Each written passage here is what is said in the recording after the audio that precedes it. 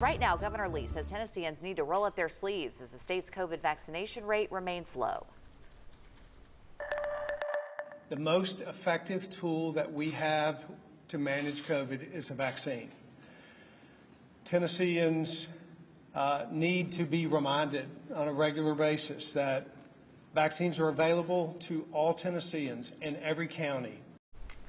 But the governor says he does agree with the state health department's decision to stop marketing vaccines to children. That includes the COVID-19 vaccine and all other shots kids typically get. Governor Lee says he believes parents need to decide. It comes after a state doctrine surfaced explaining children ages 14 and older are allowed to be vaccinated without permission from their parents.